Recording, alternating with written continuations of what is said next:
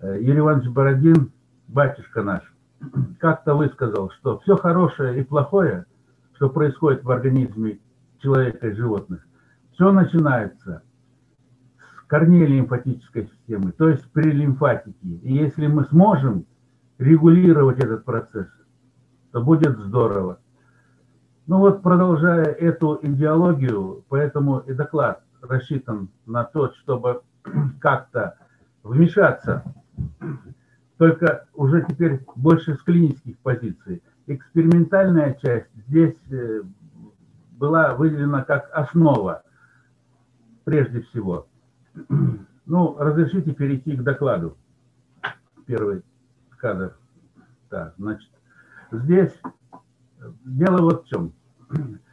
Э, обширные операции, ну, в частности, на передней брюшной стенке, обычно в связи с тем, что слишком большой объем оперативного вмешательства, возникает э, гипоксические зоны.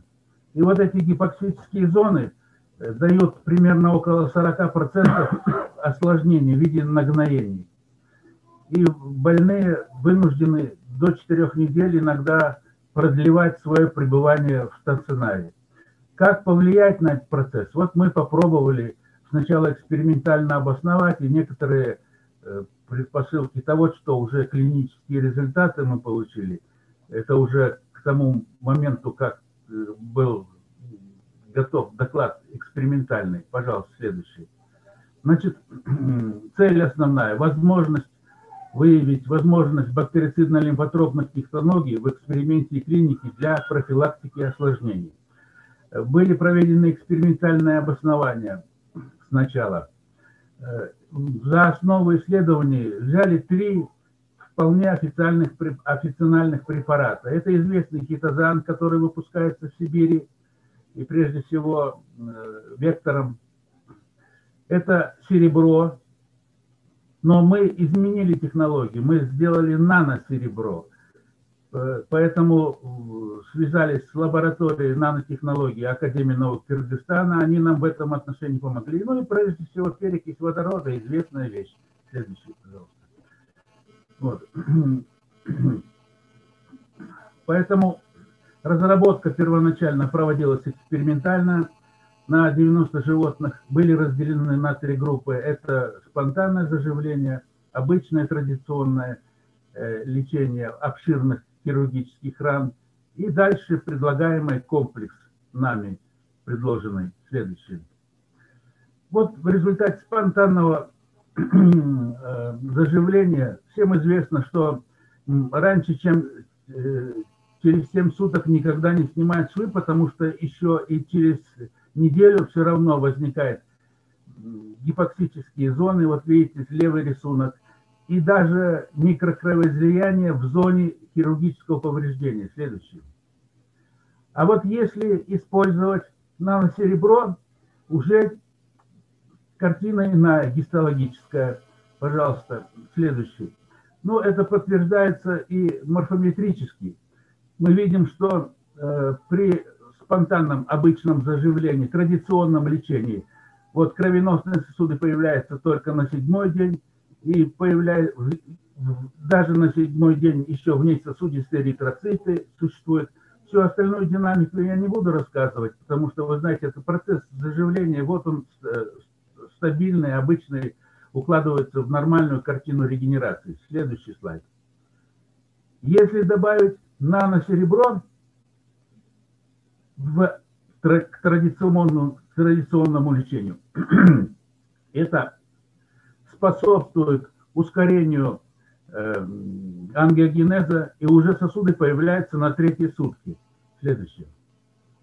И поэтому, когда посчитали, провели, извините, морфометрические показатели, то оказывается регенерация только за счет одного наносеребра в добавлении традиционного лечения ускоряет заживление примерно в полтора раза. Следующий, пожалуйста. А если же одновременно воздействовать и наносеребром, и на корни лимфатической системы, то есть хитозан с серебром, кроме это как дополнение к традиционному лечению. то мы уже на первые сутки получаем тучно-клеточную реакцию и уже видны первые признаки ангиогенеза. Пожалуйста. Пожалуйста, следующий. Это подтверждается и э, цитометрически. Вы видите, уже на первые сутки появились кровеносные сосуды. И, кроме того, э, уменьшение количества вне сосудистых эритроцитов. Дальше. Вот, когда провели статистическую обработку данных, то оказалось, что используя э, два одновременно препарата, это наносеребро и хитозан, воздействуя на корни лимфатической системы, это препятствует развитию отека интерстиций и быстрее возникает развитие грануляционной ткани. В конце концов, это ускоряет регенерацию раны примерно в два с половиной раза. Дальше, следующее. Естественно, мы рекомендовали эти результаты в клинике.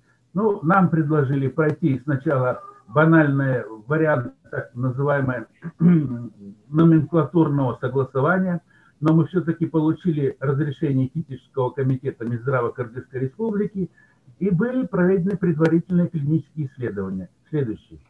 И вот что оказалось, что при традиционном лечении обширных хирургических ран всегда в 17 примерно процентов случаев встречается нагноительный процесс. Но если в процессе курации послеоперационных ран мы добавляем э, наносеребро, то уменьшение почти в два раза, 10%. А если же используется бактерицидно-лимфотропный э, лимфостимулирующий коктейль, коктейль, то оказалось снижение послеоперационной нагноительных процессов, вот видите как, только всего 2%. Да, следующее. Ну вот таким образом мы рекомендуем использовать это бактерицидно-лимфатический лимфостимулирующий коктейль.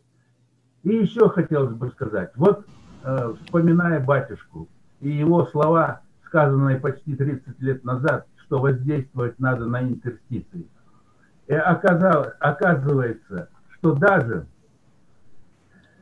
батюшка нас, наш, хоть и на небе, но помогает и оттуда живым людям. Благодарю за внимание. Спасибо большое. Есть какие-то у нас вопросы к докладчику? Валерий Хасанович Габитов, напоминаю, профессор. Христа Николаевича есть вопрос. Валерий Хасанович, приветствую вас.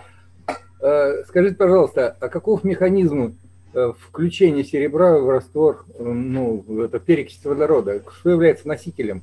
Как он там оказывается в наносостоянии? На, носителем, нанос, значит, это плазменная обработка металлического серебра, создание в виде паров серебра. И носителем является сам хитозан. А, это еще там хитозан присутствует. Да, то есть это комплекс. Это наносеребро, это хитозан и перекись водорода. Все три ингредиента, значит, создаются специально в стерильных условиях. Это, этим занимается Академия наук э, Кыргызстана, лаборатория нанотехнологий, Института химии по нашему заказу, вот они разработали и запатентовали вот такой вариант. И мы его клинически сейчас испытываем. И очень довольны. Спасибо. Мы его сейчас, даже могу сказать вперед, что мы его сейчас использовать стали при гнойных э, воспалительных процессах конечностей. И э, сумели таким образом. Значит, вот предыдущие пять лет у нас при флегмонах стопы примерно 27%, ну это мировая статистика, у кого 25, у кого 30% флегмоны стопы на уровне сахарного диабета в итоге заканчивается обычно вынужденной ампутацией конечности. Вынужденной ампутацией конечности.